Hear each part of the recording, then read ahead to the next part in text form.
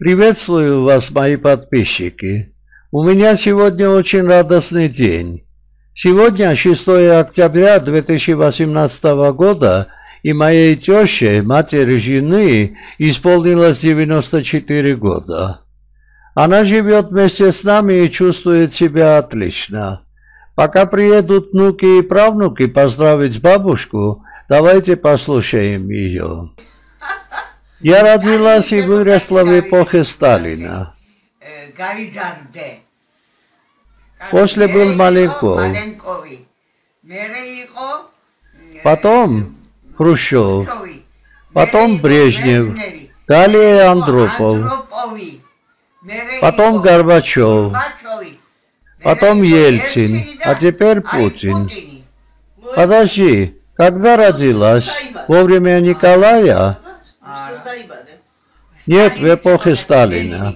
Ленин умер, и я родилась. В каком году родилась? В 1924 году, 6 октября. Из ресторана привезли горячие хинкали и кебаб. Давайте покушаем и пропустим стаканчик вина.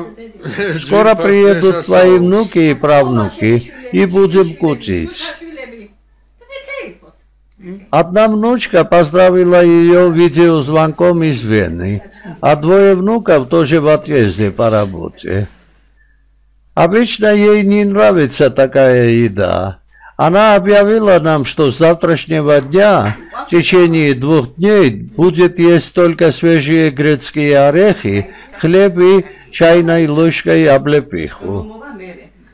Госпожа Венера Всю свою жизнь вела домашнее хозяйство и параллельно преподавала историю и географию в сельской школе.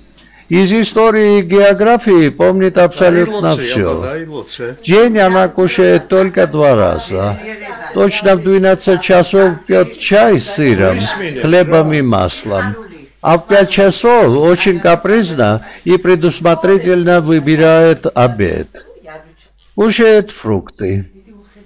На неделю ей хватает одна литровая бутылка боржоми. Читает много.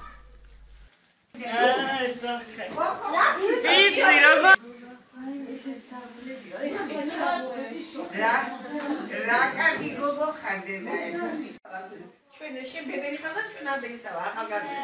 აი რა დაუ.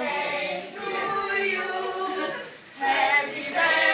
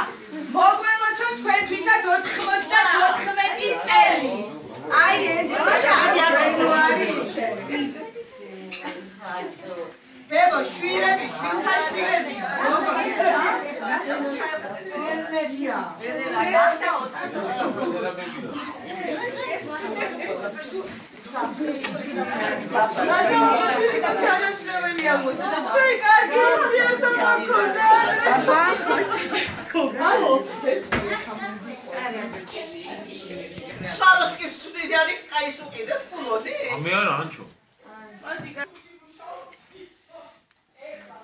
გაიგეთ ხა მე მოიხსე მოიხსნას თუ გი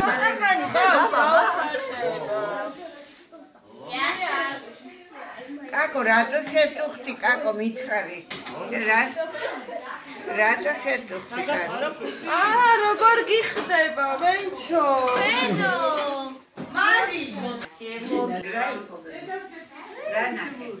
რა არ გაგიკვირდეს ვის უნდა ყავა და ვიკოს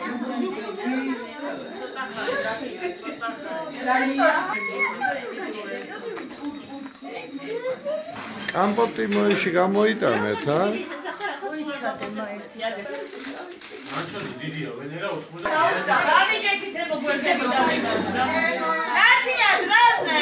ხო. Я тоже не молодой, но через 6 лет на ее столетнем юбилее очень хочу быть тамадой.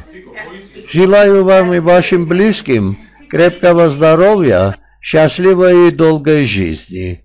Всем пока и до новых приятных встреч.